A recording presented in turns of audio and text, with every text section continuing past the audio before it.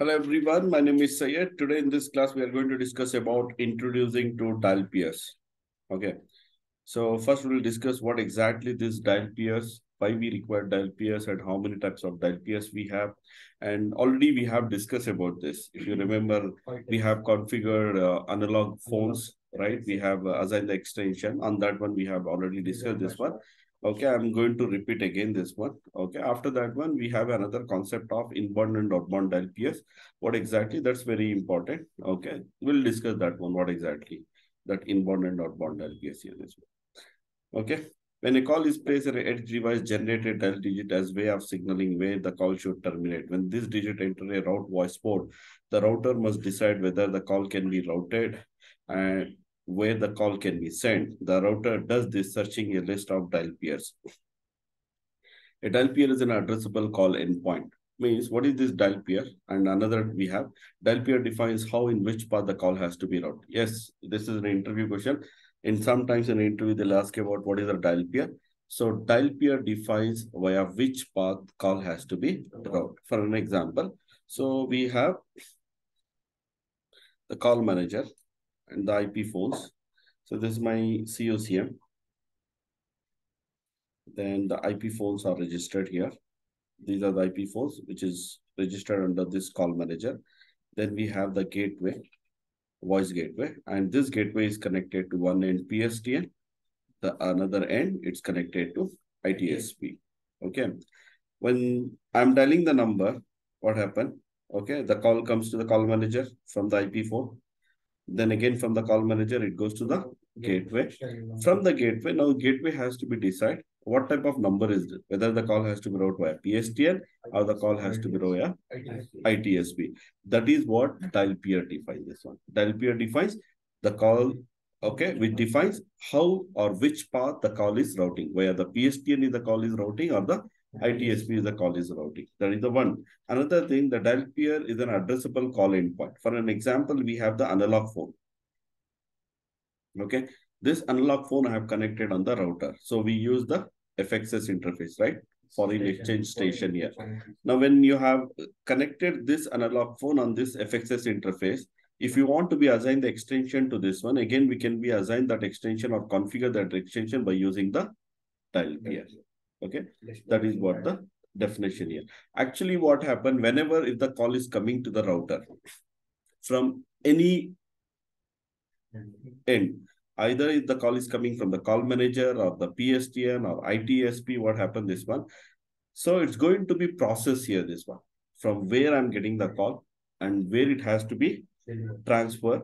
Okay. How it has to be transferred, that one and everything. That's a completely defined by the dial peers. Got it? So in an interview, if they ask, you can answer these two questions, or at least the last bullet point you can be answered. Dial peer defines how in which path call has to be routed. Again, you have to give the example. For an example, if I'm dialing the number from my IP phone, the call comes to the call manager. From the call manager, it, it forward to the gateway. Now in a gateway, we have the two providers, one PSTN, one ITSP. We have this one. So here, now whether the call has to be routed via PSTN or the call has to be routed via ITSP. So that is defined by the dial peers. Got it? Okay. The next, we have different types of dial peers. Okay.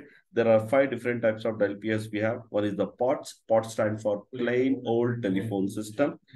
Means whenever if you want to create a dial peer or always if the call is routing via PSTN, if the call is routing via PSTN, it's a POTS dial peer you have to create. Just you remember,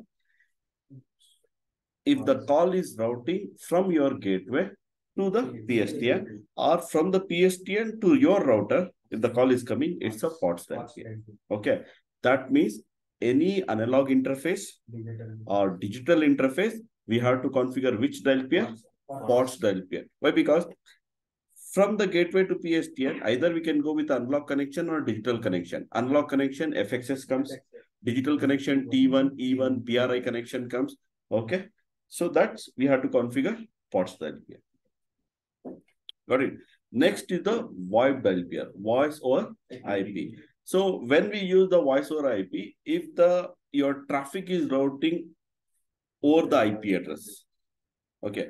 Example, from my gateway to ITSP, it's IP-based communication. See, from the gateway to PSTN, we don't have the IP address. Okay, unlock connection we have.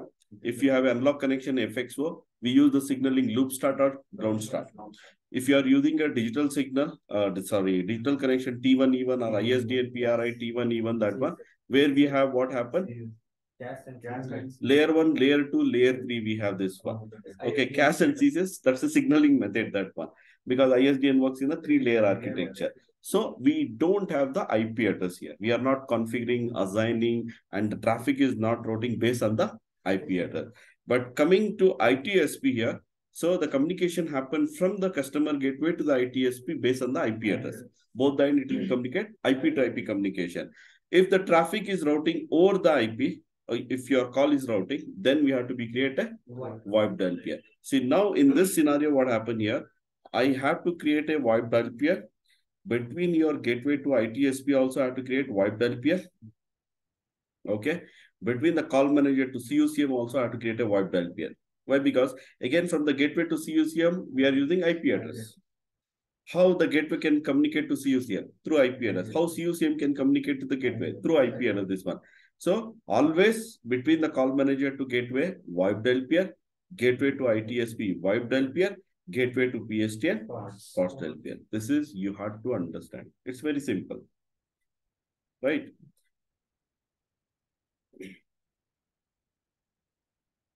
Next, we have the other like uh, VoFR, voice over frame relay, or VoATM, voice over ATM.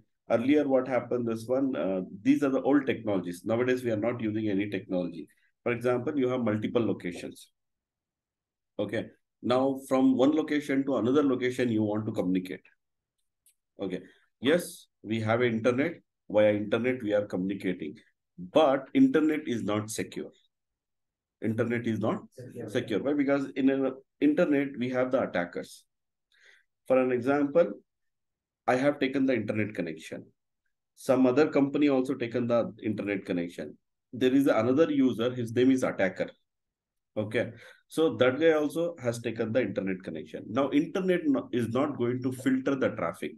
So who is good guy, who is bad guy. So that's the reason. So it's going to provide the internet for everyone. Now we are not aware who is good, who is bad in the net, internet, in the public network. So that's the reason what happened this one. When the company, you when you have a multiple location, if you want to communicate from one location to another location, secure communication has to be done. For this secure communication, we have a multiple different technologies we have. So one, we can use the frame relay. Uh, sorry, uh, VPN we can use. Okay. So VPN, uh, that's a secure communication. IPsec communication, we can do it. Okay. So there are, we have multiple this one. So securely, if you want to build a tunnel or want to communicate, now the latest technology we have is SD-WAN the latest technology we have SD-WAN. Okay, to connect from one side to another side, we are using. Before to SD-WAN, MPLS we were using. Okay, before to MPLS, frame relay we were using. VPN we have still now also VPN we have. That is the difference. Frame relay. Before to frame relay, ATM we were using this one. Suppose you have a ATM uh, circuit or the frame relay circuit, this one. Over the ATM or over the frame relay, you want to send your voice traffic, then you have to be create voice over frame relay or voice over ATM technology. Still, in a Cisco router, if you log in, you get this two option. But at present, we are not using this technology. Okay, you go to any organization, we are not using this technology. And another, we have uh, MMOIP, multimedia mail over IP, this one. Okay, so these are the five different types of dial we have, but very famous dial is only two, POTS and VoIP. The other three dial we are not using nowadays. Okay. Okay. We can use either POTS dial or VoIP dial. Got it? Okay. Even in the interview, they expect, suppose if they are asking any dial peer, you have to explain what is dial peer and everything, how many types of dial peer. So you have to explain about this POTS and VoIP dial. Okay, what is POTS, what is VoIP, where and when you can be used this POTS and VoIP dial Other three dial are not required to be because nowhere it's using that. Clear? What is the pair?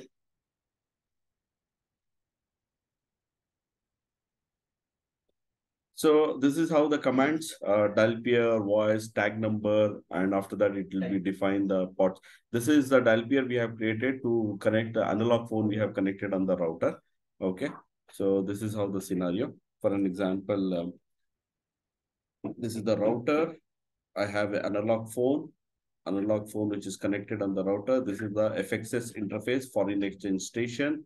And the, for an example, the port number is 1 slash 0 slash 0. Okay, now for this port, I have to assign one extension. That is what? First, I'm getting into the, this is how the command dial hyphen peer. This is for voice and this is the tag number. Okay. And there are many dial peers we can create. Every dial peer can be identified by the tag number. This is not a number, only tag number, that one. Then what type of dial peer is this one?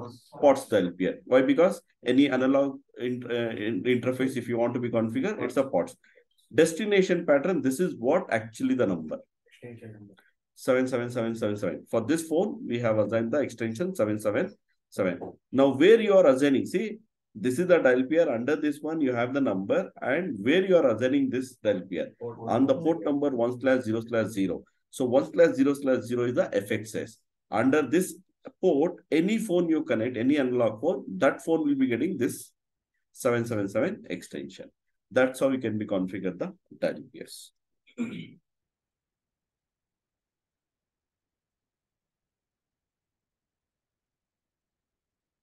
Hmm. See, router we have, phone I have connected. Yeah. So I can be now create a dial peer, one with the PSTN also, one with the IP WAN also, this one. See, VoIP dial peer if you want to create, dial peer voice tag number. Here we have to give the VoIP. Destination pattern is same. Okay. But instead of the port number, see in the POTS dial peer, we always give the port number. But in the VoIP peer, always we give session target IPv4.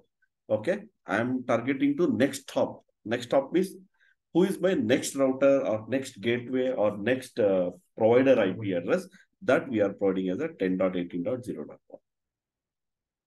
Okay.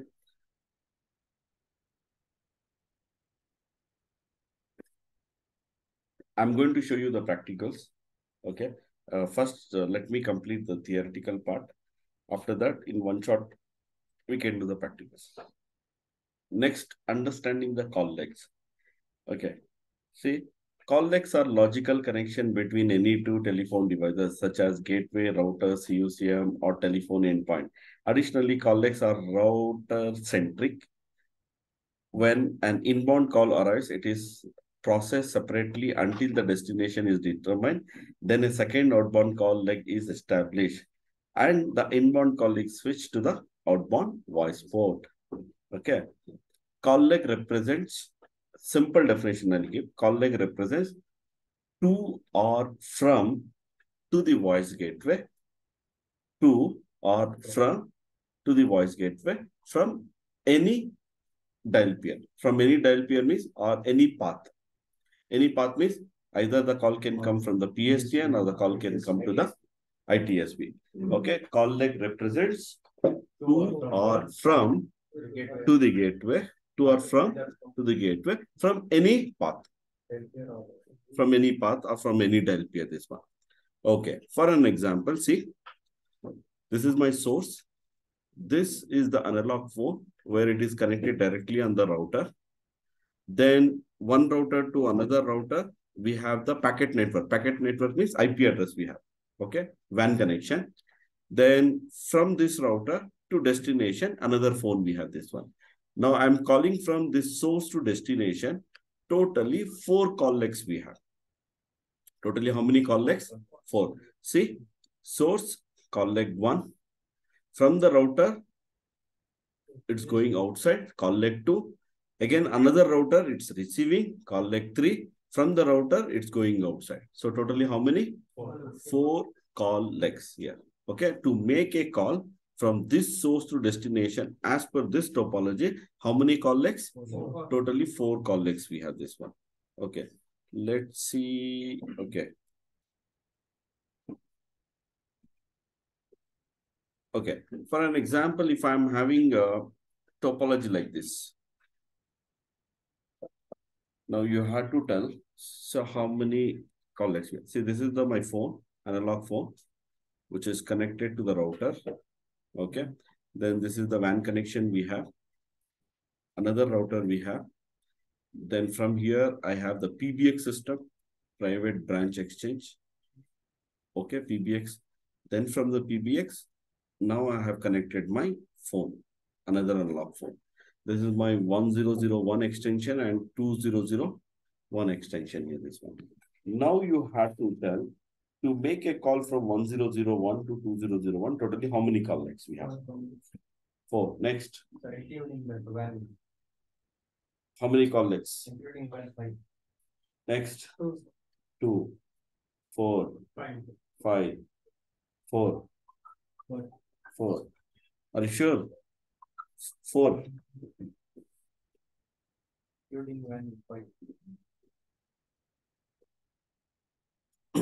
Okay.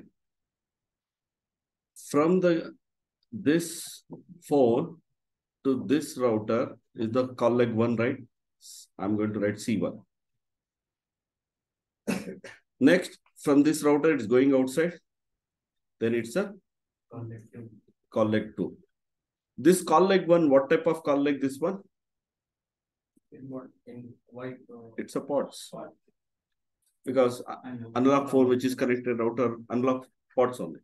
Then call leg two, When like white. color. it's a VoIP because over the WAN the call is going. Okay. Then the router is receiving. That is a call leg three. Then what type of uh, call leg is this? White. White. Again, VoIP because through the IP address. Then from the router, it's going outside. Then it's a call leg four. Now what type of this one? Spots. TVX. POTS. Then Huh? Who said four? Then four. Four, four. Now, how many? How many now? Four. Four. Four. Two ones from How many? Five. Five. Five. Four. Four. Five. Five. It's only four call legs. What is the definition? Two are. From the voice gateway. From any path. We had to consider only routers, right? We should not consider the PBX system. What is the definition? See here, call leg one to the router. Call leg two from the router. Call leg three to the router. Call leg four from the router. Now PBX we are not calculating. It's a router centric. Call leg represents router centric. We have to calculate only on routers. Got it? What is the call What is this here? Where it is? Call legs are router centric. Can you see this one here? So that is what call. Okay. Is this clear? What is the call legs and everything? Okay. Now I have a scenario like this. Uh, I'm going to write my topology first. Let's understand the topology. Then after we can discuss about the wildcards here. So this is my router one. It's my headquarter or anything you can take it. So to, to, so here I am having multiple phones. Example, this is my phone. You can take any phone, either it's an IP phone or analog phone, whatever the phone you have this one.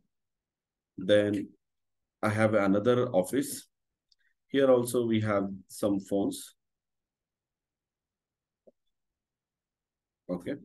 Its extension is, for example, 2001, 2002. Here the extension is 1001, 1002, 1003, 1004. We have this one.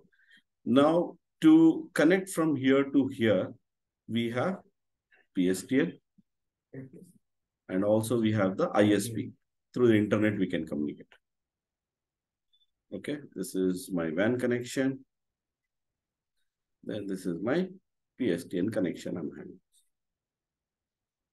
Okay, so let it be whatever the single cluster. Yeah, maybe a single cluster. Okay. Now I want to make a call from the 1001 to the 2002. Right?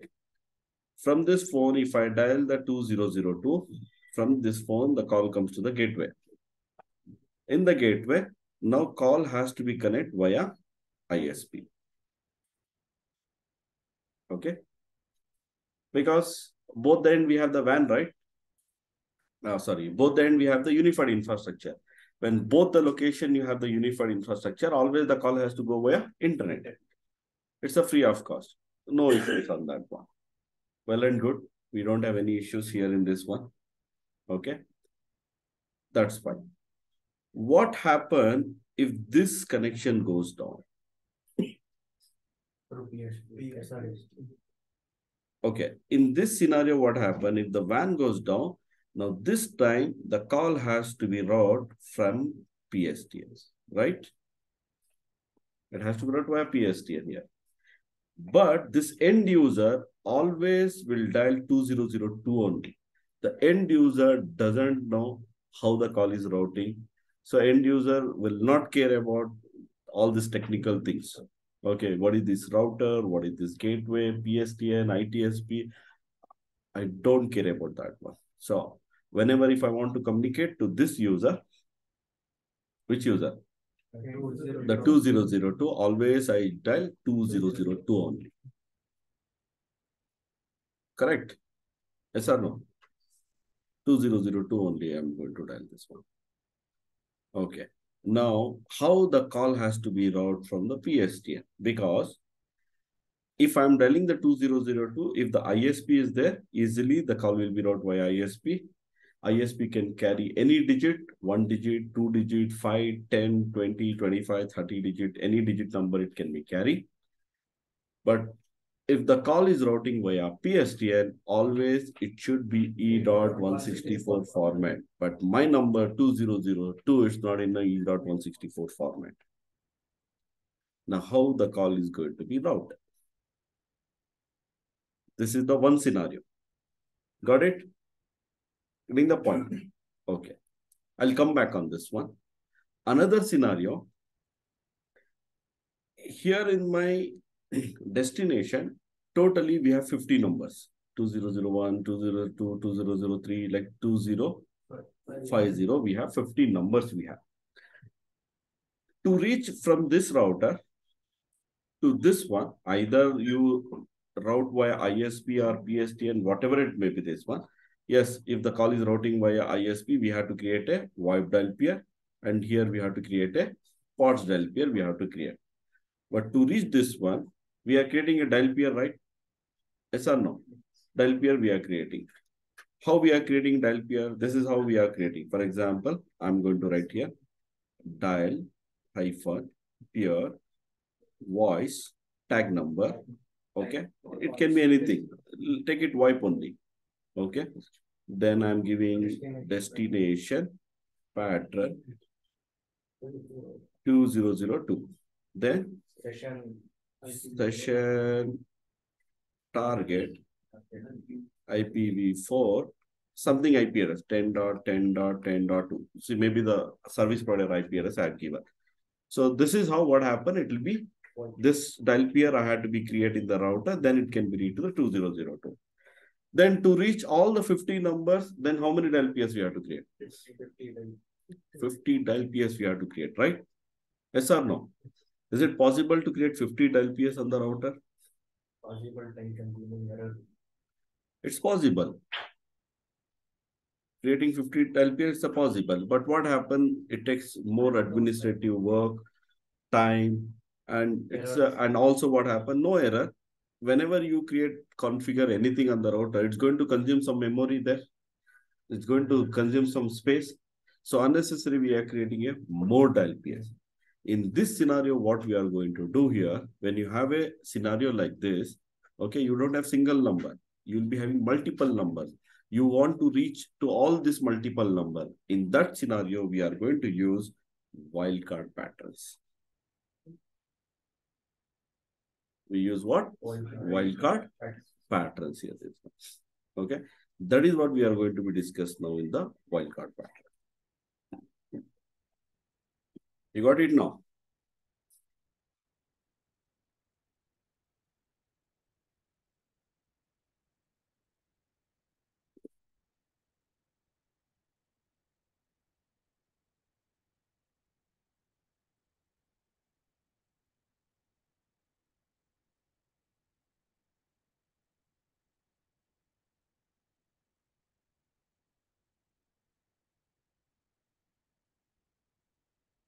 Okay. So now we are going to use the wildcard. See, these are the different types of wildcard we have. This is the symbol. This is the description we have. First, we have a dot. Can you see this one? Okay. It's called period. It's called Period. period. This indicates single number between 0 to 9. If you have one dot, one number, but any number between 0 to 9. If you have a dot means it can be any number 0, 1, 2, 3, 4, 5, 6, 7, 8, 9. But it's a single number. Okay. So in this scenario, coming to this one, suppose if I want to reach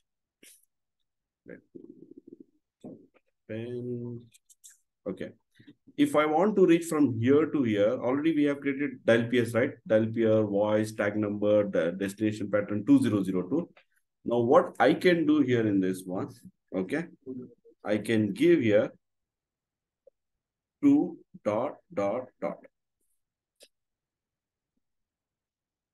Okay, if I give two dot dot, so it can be matched to zero zero zero two two nine nine nine. Between two thousand to two thousand nine hundred and ninety nine, it can match any number.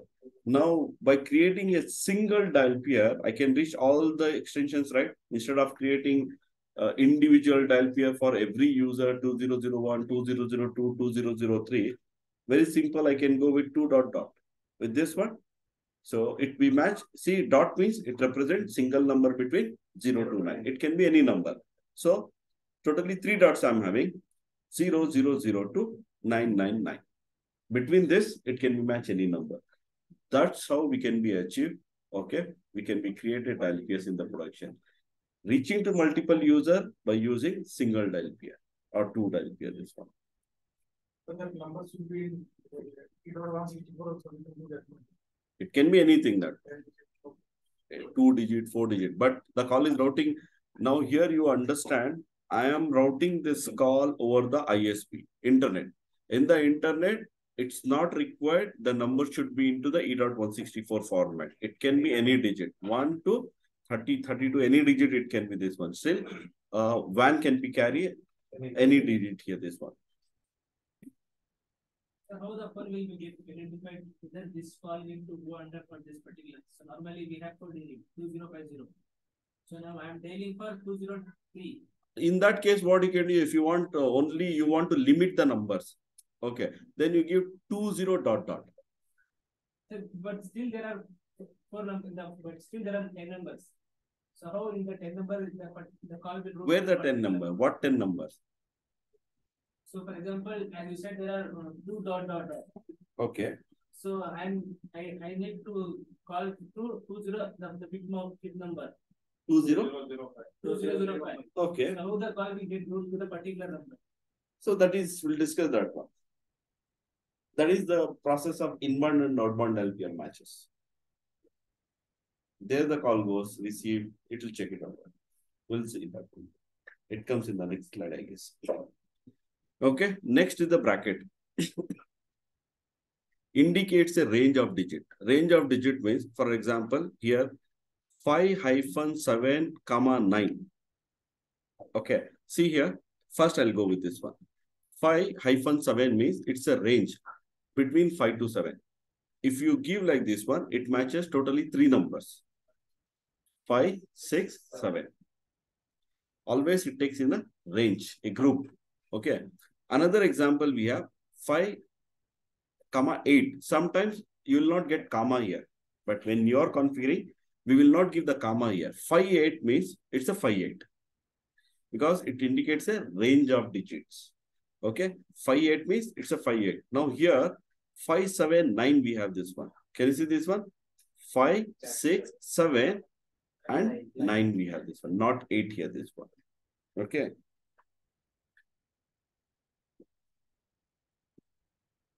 So in this, this type of, I don't know the technically what to say about this uh, two dial peer, open bracket, bracket, square and round bracket here, this one.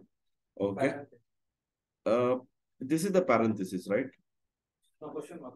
Okay, question. The parenthesis, that flower bracket, it's called parenthesis, right? Okay. So here what happened this one? Whenever you have see 5279, it takes either this number or this number. It will not take full the number. But here it takes full number. Example, triple five we have, right? It takes all the numbers. See, what is the difference between the square bracket and round bracket? In the square bracket, it takes single number. In the round bracket, it takes all the numbers. That is the difference here. See, in this case, either it takes 5 or 6 or 7 or 9. Any one number it matches. Here, 5, 8 means it's not 58. Either it matches 5 or 8. Here, this one. Got it? This is how it, it's going to match. But here, in the round bracket, it takes all the numbers. See, in the round bracket, 555 we have, right? It takes all the 5555. Okay. Then question mark percentage, we have this one. So indicate the preceding digit occurs 0 or 1 time. Uh, and here, uh, same. Uh, here occurred 0 or more time here, this one. So example, I'm having a pattern like this. 2, 4, question mark. This is the question mark. 5, 7, dot. Okay. Preceding digit means before to this question mark, what number you have? Four. 4. That occur 0 time or 1 time. That means the output. Suppose if you have created 2, 4 question mark 5, 7 dot 2, One time, 5, 7 dot 0 time. zero. 2, 4, 4, 5, 7 dot. One time, two. Yeah, one time means I had to take, uh, sorry, here zero time means I had to take only one digit, one time. One extra means I had to take here. But here coming zero or more times means instead of question mark, if I am taking percentage here, okay, 2, 4, percentage 5, 7, this can be increased how many times you want that one. 2, 4, 4, 4, 4, 4, 5, 7 dot. 2, 4, 4, 4, 4, 4, 4, 4, 5, 7. Like whenever you have any dial digit, the number you have, the maximum size of the digit should be 32 numbers. Maximum size comes right. Any dial digit maximum size, it's a 32 digit here, this one. Now already we have two, five, seven dot we have, 4 digit we have this one. So 32 minus 4, Twenty-eight. 28 fours you can add it in that one. That is the maximum dial length of that number. That's how you can be configured. This is how we have a different patterns. Right. Cisco is offering wildcard. According to your requirement, what happen, you can be use it here this way. Okay. So that's how we have plus also we have almost same digit occurred one or more times, zero or more times, zero or one time here. Then T we have this one. See, dot we have, it matches any number. T also matches any number. The difference between the dot and T, dot matches single number. T matches any number. You dial 1 also, 2 number also, 3, 5, 10, 15, 20, 25, 30, 32. It's going to match any number. Okay. Indicates the interdigit timeout, the router pause the connect additional dial digits.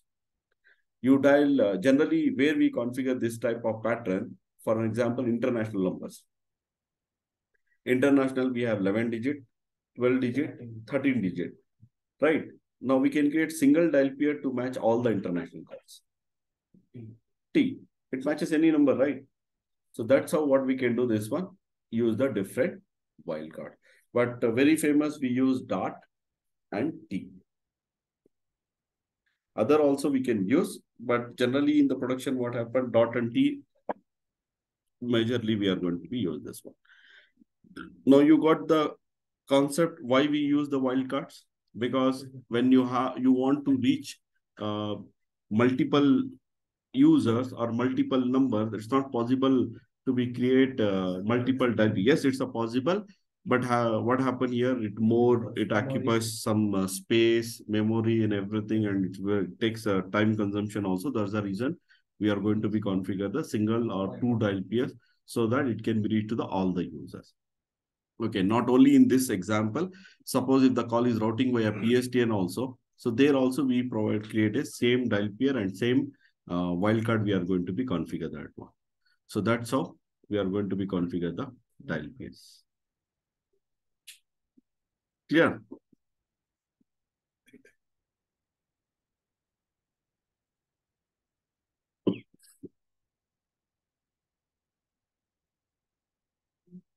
Okay, next understanding inbound and outbound pair matches.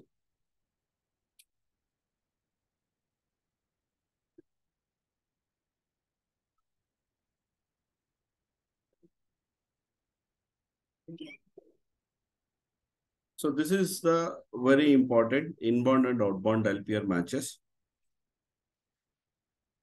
What happened when the call is coming and hitting to the router from any source, any source means either the call is coming from the call manager, PSTN or ITSP. For an example, here you take the call is coming from the PSTN to router or ITSP to router or internally from the call manager to the router. Whenever if the router is receiving any call, okay, it has to process for that call. After processing, it has to be sent out. Okay. So for that, we require the dial peers.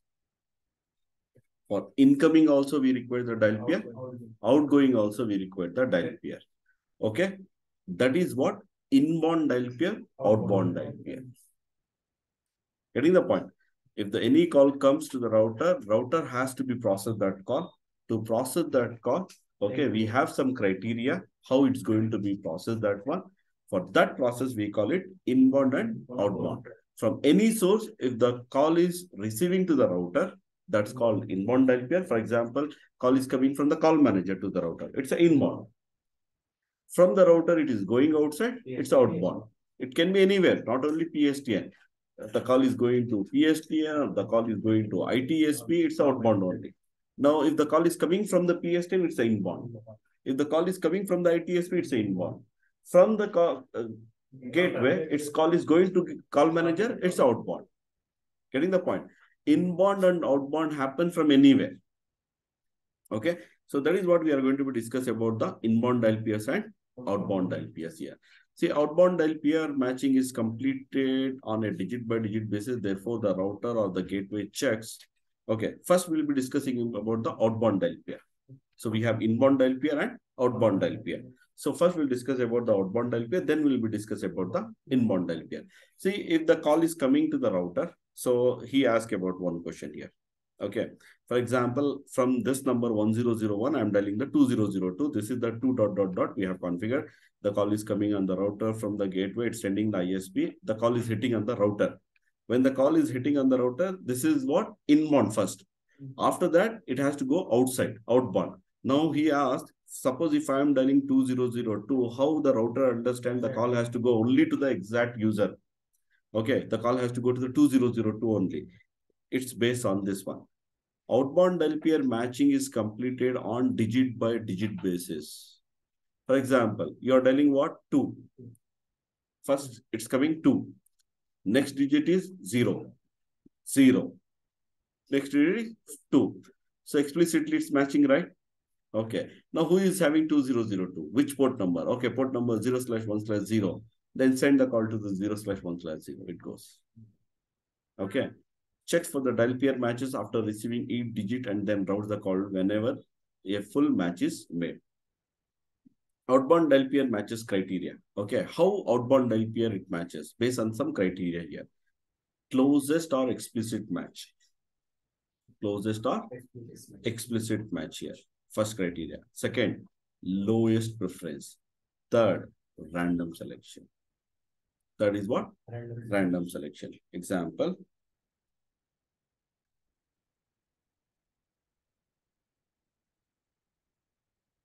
So this is my router. I'm getting a call from any source to this router. So I'm having a two phones here.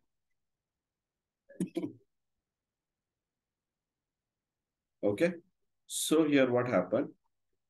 Two zero zero one two zero zero dot. This phone having the extension 2001, this phone having the extension 200 dot. If I dial 2001, which phone is going to ring? Even this one also is going to match, right? Zero to one, zero to nine. 2001 dot means it can be match any number, right? Now which one is going to be ring? Two zero one.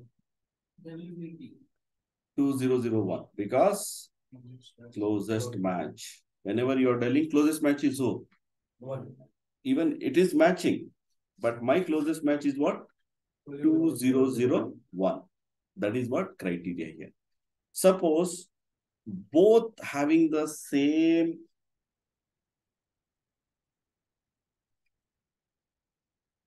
number. Now who is going to match? If I am dialing 2001, number. who is going to match now? Earlier it's having 2001. Uh, yes, when I'm dialing 2001, it was matching. Here dot was there. It can be match any number, but closest match is this one. It was ringing. Now both the phone having the same extension, Random. 2001, 2001. Random. Second, it's going to be check it out. If it is getting tie, closest match is getting tie. It's tie, right? Both the end. Right. It check for the lowest preference. Who is having the lowest preference? By default, whenever you are creating a dial peer, by default preference is zero. By default preference is zero here, this one. Okay. Say I have not created any preference. By default, both the preferences what? Zero. Zero, zero here, this one. Then in this case, it goes to the random. Random selection it goes. Okay. Suppose if I have configured this as reference one, manually I have configured this phone as a preference one, and this I have left the default zero here. Now, if I dial 2001, who is going to ring? Right. This is going to be right. Lowest is the best. Lowest is the best here always. Zero, one, two, three, four. This is how it can be configured this one. So this is how the outbound dial peer matches here this one. Got it? If the any call comes to the router, okay. Now clear this one. Closest match, lowest preference, random selection here. So this is the very simple example I have given. But now Sir. coming can come to the. now coming to here in this one, now the call can be route via ISP, the call can be route via PSTN, right? Now how the call can be route via ISP? So we have created dial right. Which dial peer we have created? Why? Now how the call will be route via PSTN when the ISP is down? For the port type here, uh, Port number, digit of. We have to create another dial peer, right? POTS. Anything, if we want to route, we have to create what? Another dial peer. So let me create a dial peer here, this one. Okay. Dial hyphen peer, tag number two, it's a POTS. Next, destination hyphen pattern, two dot dot dot, dot dot. Okay. Next, port number, because always on the POTS we get port number, right? Suppose its port number is zero slash one slash zero. So I'll give zero slash one slash zero. Then we have to give no digit strip example, no digit strip, then no shutdown. Of course, no shutdown we have to give here also this one. Right? This is how I have to create a dial peer. So now what happened here? In this scenario, also I had to be configure preference. Preference one. This is very important here. I have to configure. See, when I dial 2002, there are two dial peers are matching. Dial peer 1 also matching, dial peer 2 also matching. Now, which one it has to take? Always I have to go with the lowest one. This one. This one it has to be go here. Lowest one here. Okay. Because it is having the zero preference here, right? By default. It is having zero here, this one. So if this one is not available, then only it has to be go where? One. One. So this is the preference we have to be configured here. Always whenever, see, single number, two dot dot, here also matching, here also it's matching. With this one, always the call has to go via WAN. If the WAN is down, then the call has to go via PSTN. But the PSTN dial peer is a preference one. The VoIP dial peer is a preference zero. That means who is having the lowest preference? VoIP. Always it goes with the VoIP. If the WAN is down, then only the call goes to the PSTN. In this scenario, we have to configure the preference. See, from the router, see, from the router, it's going outside only, right? When it is going outside, it's what? Outbound. Got it? So closest match, Voice preference and- and- lowest preference and random selection. That's how it will be outbound LPR matches. And it's very simple. Clear? Any doubts, any questions? Sir, what Yes. is if you use in parts, sir? Port interface zero slash one slash zero, one interface we have here. Hmm. Then uh, numbers, so many numbers are there. How, how it is assigned to that, that many, that many numbers? But only one call it carries, right? Only one. Uh, suppose if you have a digital interface, see if it is a FXO interface, if it is a FXO, FXO will carry only single number, right? Single number. Okay. Now it's a If you are having a T1 E1 channel. channel, the who is the D channel? Zero slash zero slash zero colon fifteen is the D channel, right? Okay. This is how it comes, zero slash zero slash example. So the port, you will be giving this one. So that means how many channels you have already here? You have already defined 10, 20, how many? Logic. Then that means uh, calls goes. Got it? But it's not possible for uh, that uh, FX word. Single. FXO, FXO, it's only one call, right? Analog is what? One connection, one call. How it's possible to make it multiple calls in single connection? For even T one only, we can do this. Yes, got it? Clear? This is how the outbound pair matches here, this one. So closest match, explicit match, lowest preference and random selection. is one.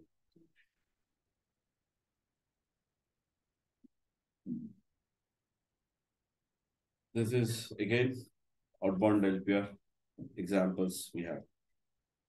See, suppose if I'm dialing five, one digit, any number can be matched. It goes with the closest preference. Some example just we have So, given uh, suppose we have to give multiple extensions. multiple extensions. Give uh, multiple Like, uh, extensions for what? Like series, series. You can create two dial peer. You create. Two separate. Yes, two thousand is one pair, three thousand is one pair. You want to reach uh, via and also WAN also, then total four pairs we have to create. Two pairs over the WAN, Right. two pairs over the PSTN. Four. Total four. So how to create dial peer for, for the public number in the DID? Public number, Yes. then you give the, instead of uh, two dot dot, give the DID range there. DID.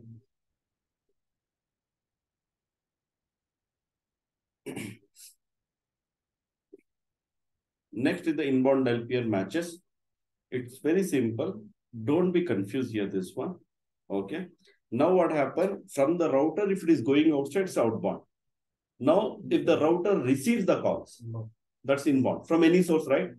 Either it's receiving from the call manager, PSTN, ITSP, from anywhere, this one. Once the router receives the call, it has to process that call. To process, again, it has a criteria. How it's going to be processed that call. When determining how inbound dial peers are matched on a router, it is important to note whether the inbound call leg is matched to a POTS or VoIP dial peer. Matching occurs in the following manner. Okay. So inbound POT dial peer associated with the incoming POTS legs of the originating router or the gateway or inbound VoIP dial pairs are associated with the incoming VoIP call legs of the terminating router or gateway. It's telling that one, if the call is coming from the PSTN, it's a incoming POTS dial peer. If the call is coming from the ITSP, incoming VoIP dial peer. See, for inbound, outbound also we have POTS and VoIP. Inbound also we have the POTS and VoIP. Suppose if the call is coming from the PSTN, it's a inbound POTS dial peer. If the calling is coming from the ITSP, it's a inbound VoIP dial peer. Okay, so that's we have. These are the criteria we have. First, we have incoming call number, answer address, destination pattern, port number, and the final we have the dial peer zero here, this one. Incoming call number means this is the first criteria it matches DNIS. First criteria is what? DNI. See, this is incoming call number, answer address is these are the commands actually here, this one. Okay, but it's technically we call DNIS, ANI, and uh, destination pattern based on the ANI, port number, dial peer zero, we have this one. Let's see if I'm having, okay. This is for the dial peer uh, zero I'm having. Okay, let me explain you here. Understand carefully. Don't be confused anything here in this one.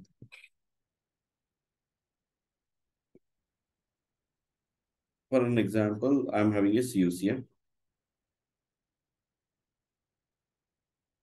The gateway I'm having, the gateway is connected to PSTN.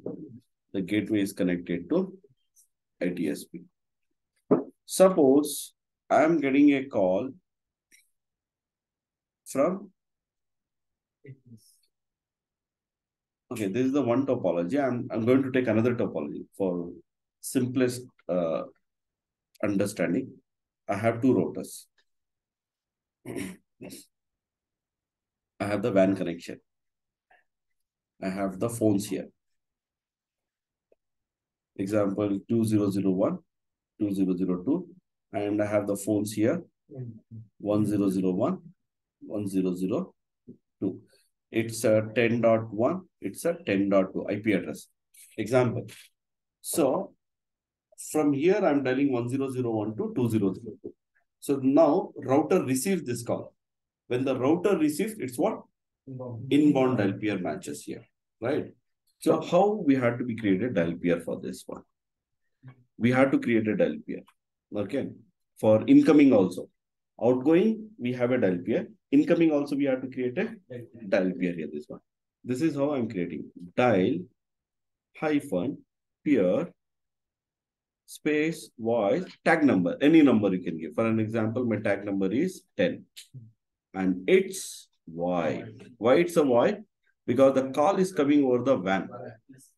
If the call is coming from the PSTN, then it's a POTS. Okay. Then here I have to configure incoming dialed number hyphen number. First criteria it matches DNIS. Second criteria it matches ANI.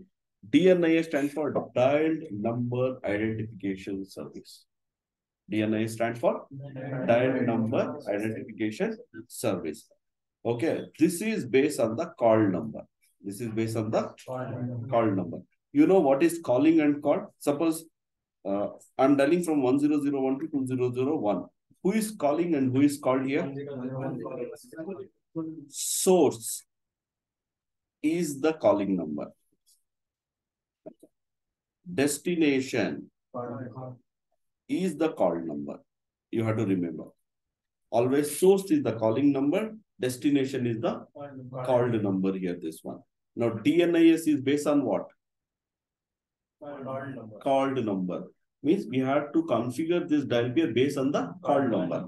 See, just I have created dial peer voice, tag number, VoIP, incoming dial number. Here I have to give 2001. 2001 is what? I'm dialing the call number. Who is call number here? Two zero zero. two zero zero one. If you give like this one, that's enough. Inbound. Okay, first criteria it matches DNIS. Okay, by default, there is no configuration on the DNIS. By default on the router, you don't have any configuration. You have to configure manually this DNIS. DNI stands for dial number identification service. This is based on the call number. Okay, whenever if the router receives the call, in that one, who is the call number it checks. Based on the call number, it we have to configure. Suppose I have configured incoming dial number two zero zero One. one. Now, if the call is coming to two zero zero two, Another. Two double two. Current. another inbound LPR you have to create. But again, creating multiple LPR, hundred numbers I'm having. Creating hundred inbound LPS, again, it consumes more space here. Now, what we can do here are two dot dot dot. Right? Now, what happened? Any number comes with this pattern 2002xxx, it's going to be match here, this one. Or only one single dot also you can give. Zero to nine. No, it matches any number, any digit, any number, single dot also if you give. For an example, internally, we have some other force. Three zero zero one, three zero zero two. Two XX also we have, three XX also we have. One, what you can do, one, two inbound LPR you can create, one for the three XX, one for two XX. Or instead of, you can create single number, single LPR with a single lot it's going to match for any of the number. But how it will get rectified? This is only for, it's not for the outbound, this is for the incoming only to process. This is outbound is different, right? Why it's rectifying, rectifying, it's happening in the outbound, right? This is for what? Whenever if I receive the something traffic when I'm receiving, I have to process. To process that one, what happened, I have some criteria that one. Only to process that one, I'm taking this inbound LPR. Based on the inbound LPR, I'm not deciding where the other user is connected. That is decided by the outbound LPR. So one more thing, dot means zero to nine, only one digit. So yes, dot means zero to nine, it will be match one digit. But here, even if it is matching single digit also, it's going to process. It's not mandatory that it has to be matched completely full digit for incoming call, only for incoming call, not for the outgoing call. Outgoing call, it has to match all the numbers. Getting the point? For the incoming call, even if it matches single number also, it process. Okay, its number is matching. Okay, done. Go to the next. Got it? So, suppose you have not configured DNIS, because DNIS has to be configured manually, that LPR. If the, there is no DNIS, I will check ANI. This ANI is based on the calling number. ANI is based on the calling number. So, for example, same dial peer, dial peer voice ten VoIP. So, instead of this command, if you are typing answer address one zero zero one, because it's based on the calling number, right? Who is calling number here? One zero zero one. Now again, if I'm calling from one zero zero two, another dial peer has to be created. So what I'm going to do here, this one, One dot, one dot dot dot or dot. dot from any source, if the call is coming, I'm going to match this one. From any source, the call is coming, I'm going to match here. So this is what ANI has to be configured. Now, this by default, there is no configuration on the router for both DNIS and ANI. You had to configure manually. You had to configure Manual. manually at this one. Okay. You have to configure manually at this all things we are going to. Suppose- Yes, it will be configured that way. In the production, it's a mandatory, you have to configure inbound LPS. Okay. If the DNIS is configured, if the DNIS is matching, then it will not check for the ANI. Total five criteria is there. First, it will be checked for the DNIS. DNS is matching, that's it, inbound is over. Then it goes to the outbound. If there is no DNIS or if the DNIS is not matching, then it's going to be checked out for the ANI. Clear? Any doubts, any questions? How inbound dial It's very simple. No configuration, just we have to create a dial peer to match that numbers. Okay. Next, if there is no DNIS ANI, Pattern then it goes to the destination pattern based on the ANI. Example, suppose from this router, if you want to read this 1001, 1002, how you can reach? When can. Because here in this router 2, 10.2, you have to create one outbound LPR. How you will be creating outbound LPR? I'm going to write here. Dial hyphen peer, voice, tag number, it's a VoIP dial peer. I'm giving only shortcut here. Okay, then destination pattern, one dot dot. Next, session, target, IPv4, 10.1. This one, 10.1. This I've already created an outbound LPR to reach, right? Now it's going to match this LPR. Okay, if there is no DNIS or ANI, okay, if you are not configured, suppose from which source you are dialing, calling number, for that source, if you have created a outbound LPR in your router, if you have created a outbound dial peer, then it's going to match this dial peer and it completes inbound dial peer. That is what the destination pattern based on the ANI. ANI means calling. If for that calling number, if you have created any destination pattern outbound dial peer, it's going to match that. Got it? That is what the third option we have the Port number. port number based on the ANI. Based on the ANI means for the ANI from the which source the call is coming. For that, if you have created a outbound dial peer, then it's going to match that one. Suppose you have not created this dial peer. You have not created outbound dial peer. First, it check the DNIS, no configuration, ANI, no configuration, port number based on the ANI, you have not created. Then in this case, actually, fourth criteria, we have the port number. This port number comes only for the port dial here. It will check from the which port number I am receiving the call. Suppose if this is the router, call is getting from the PSTN, PSTN from the port number 0 slash 1 slash 0, then it matches, okay, I'm getting a call from this port number, over. But for the VoIP, we don't have the port number, right? Scanning. This port number we get only for the POTS. But we don't have the VoIP. VoIP. So finally, we have the dial peer. I'm going to write here.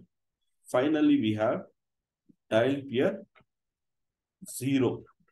By default, in a router voice gateway, we get one dial peer. It's called zero. It's not possible to see the dial peer. Modification, deletion, nothing can be done for that.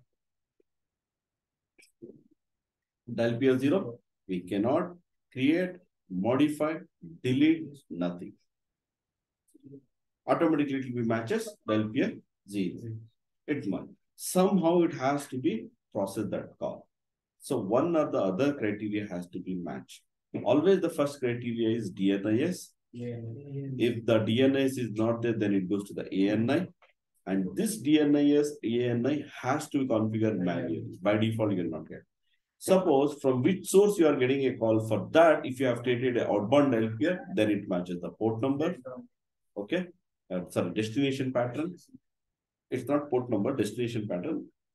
Fourth one is the port number. This is only for the POTS, okay?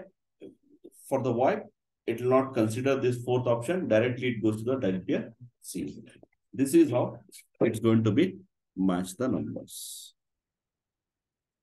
This is only for the matching. Now you don't think that one. So this one. First one is incoming call number, DNIS.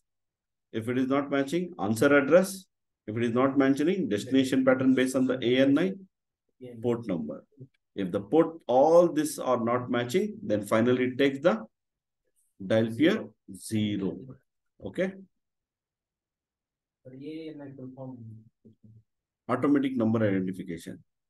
The road between the call manager and router, we should create, uh, inbound, inbound uh, between the call manager, I'll come back. I'll come back. Okay.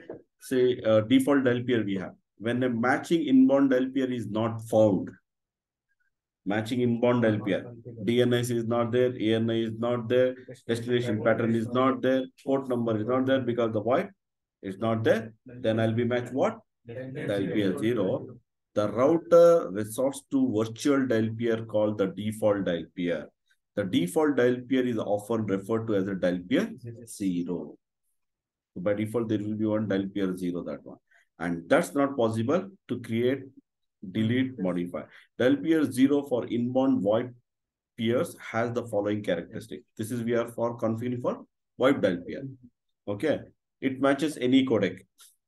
The dial peer zero we have, right? It matches any codec. IP precedence, it will be having zero. Okay. VAD is enabled on that one no RSVP support. Okay, Res uh, resource reservation protocol that one. So these are the features actually. Okay, it will not support here in this one. Fax rate will be support here. It matches any codec, VAD is enabled, fax it support, but it will not support for the RSVP this one. This is about the dial peer zero that one. So this is the least matches it happens, but it's a recommend always you have to configure the dial peer. Okay. So always it's a mandatory, we had to be created LPS, inbound LPS in the production network. Maybe in the lab scenario, we not required because it's very simple lab we have, easily we can be route the call. But in the production, what happened this one, it's a mandatory, you have to create a dial peer this one. Inbound also you have to create. Obviously outbound, if you are not creating outbound, call will not route.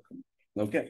So inbound dial peer also has to be created. So I will show you in the real scenario how the dial peer has created, in which scenario, uh, why it will be helpful actually what happened. When it will be helpful, this inbound dial peer, suppose multiple locations calls are coming on the single router. Single gateway, the calls are coming. In that one, we should be know which country, which provider's call is coming. In that case, to match that one, inbound dial peer has to be created Centralized router.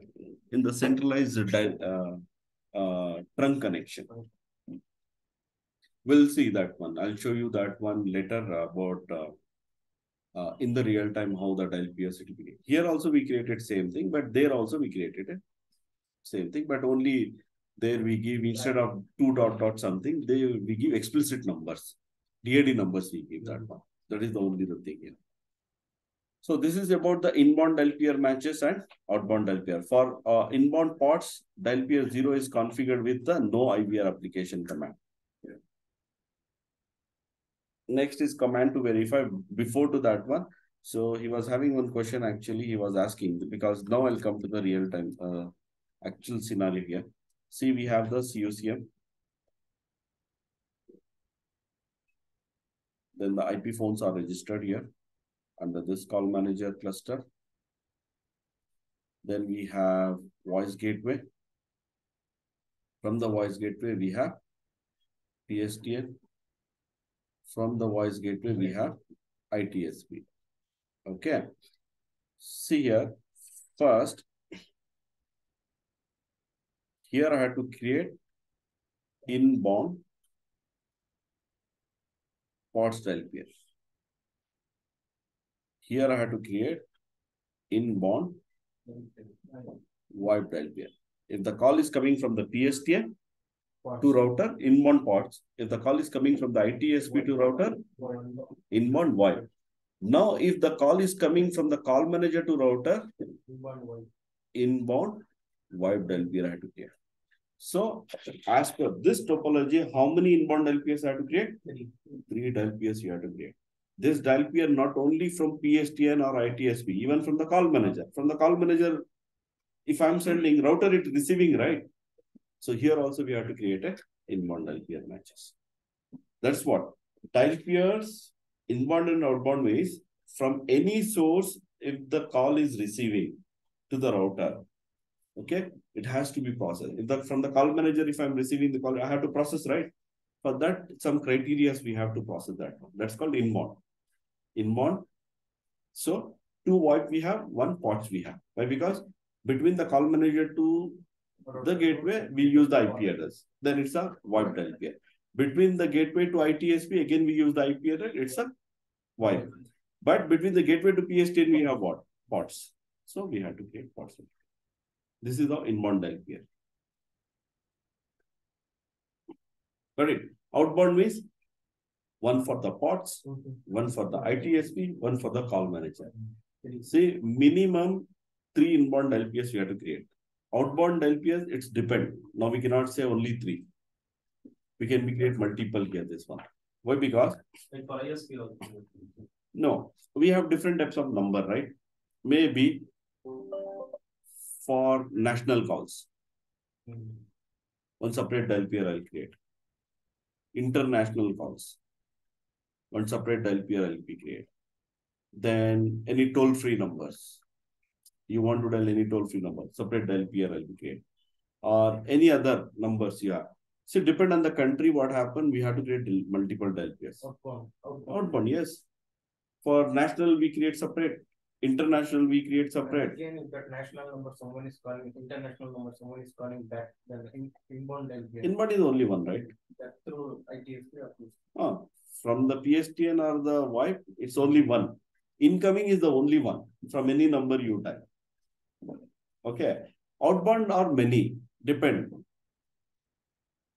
Okay, maybe sometimes I have to dial a separate dial peer for emergency number also. It's not mandatory.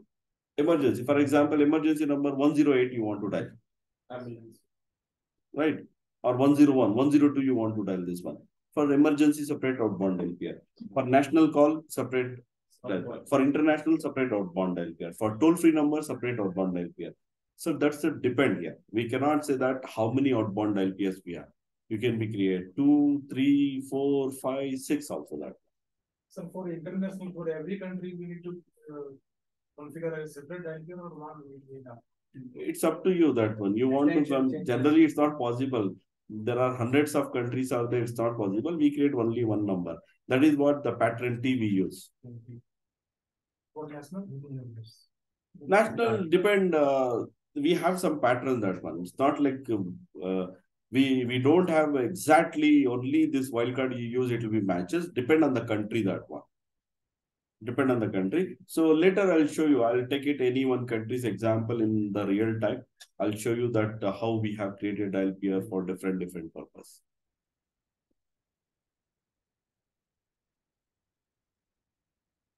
Clear? Any doubts, any questions? Okay, so now this is how we have to be. Is this clear, your doubt? Okay, you were asking from the call manager to the gateway, right? So yes, we had to create an inbound peer there also. So this is how the inbound peer matches happen here, this one. Something commands to verify, show call active voice. Mandatory three outbound, Yes, mandatory three. not three outbound, three in inbound. Inbound, And outbound are like router from, uh, It's, that is what till now PSP. have discussed that one. It depend on the country that one. Emergency, you can create one. National, you can create one. International, you can create one. Toll free, you can be create one. Depend how many. But uh, according to topology, one is PSTN and one is uh, two different. Yes, man. Outbound. For an example, not two only. Uh, meaning In the PSTN, emergency call also goes to the PSTN. PSTN. National call also goes to the PSTN. International also goes to the PSTN. Then toll free also goes via PSTN. So over the PSTN, how many dial peer we have to create? Four. Four we have. Optional, if you want, we can uh, put in. But It's not an optional. Suppose your requirement is there from the internal, you want to dial all this type of number, then you have to create, right? It's not an optional.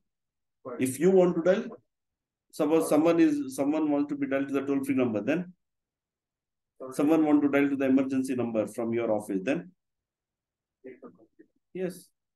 That's not an optional. Like inbound uh, mandatory, we have three, like, Uh, Three only. inbound. like, uh, for outbound, uh, minimum, we to. There is no minimum, nothing like that one, according to requirement that one. Minimum, if you say like that one, see, it's, it's actually wrong statement, minimum two. One for national, one for international. One for domestic call, within the country. One for international, you have to create. inbound we are from, uh, CSM to router, Okay, from router to CSM. outbound. We need to. Yes. See. What three? Because according to that topology, minimum three. It's, see, that's not according to that topology, that one. According to that topology, minimum three inbound. Outbound, we cannot say minimum three, that one. No, what if any other different? For an example, in the call manager, I have uh, two different DID extension. 2001, 2002, then 3001, 3002. Then Four. Two zero one, what? Four. Two dial pair I have to create. two zero Two one, dot dot, three dot dot I have to create. That is what? So I have not defined there, right? It's not like minimum uh, or depend on how your patterns are there, which country, how many numbers you want to have, you have to create. It will be not like minimum. Okay. Uh, just Thinking about that topology. In that case, only, only, okay, you can take it three that. If required, uh, can go for multiple. Say inbound, it's only one dial peer we create from one source. For outbound, you cannot say that one, only one or two that one. Every country different. And depend on your office, what type of number user is going to dial. Based on that, that many outbound LPS you have to create. Okay. If they want to dial toll free, you have to create separate. You, they want to dial uh, emergency, you have to create. If they want to dial national, international, they, some countries, what happen, national, they have different patterns. National itself, they have different patterns, different pattern outbound LPR, you have to create that one. So always you have to, you know, depend on the provider, depend on the country. Show call active voice brief, the command, if there is any active call on, means your dialing call is connected. So it will be displayed. Show voice call status. Show voice DSP active means DSP chips we have, right? So you want to be check it out the DSP status, which DSP is active state that status or error. Okay. Show voice uh, DSP group all. Uh, this is related to DSPs.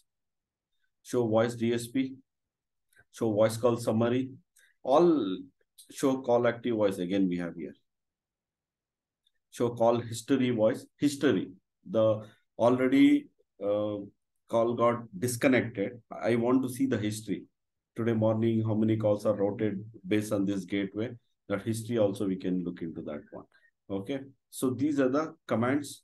Uh, show voice port, you know that number. The either it, this is for the analog or digital tag number. Digital also comes, right? DSP, that's for DSP chips to verify that one. DSP chip, PVDM DSP. to verify that one. So to know about more about, watch my last video. about the DSPs. Okay, so these are the different commands we can be used to be verify all your calls. Okay, now whatever we have done the theoretically, the same thing we are going to do the practical. Okay, now you have understood pair means what, call legs means what, wildcard means what, inbound peer means what, outbound peer means what, everything you have understood. So what we can do, we can do the lab, okay, in the, we, in the router, we can create a lab scenario, we can implement all these things on that one. Okay, so for this, we'll be doing it in the next class. So before we wind up, you have any doubts, any class? The next class is the digit manipulation, but before we get into this digit manipulation, we are going to be do the lab first for this one. After that, we are going to discuss about the digit manipulations. Any doubts, any questions before we wind up?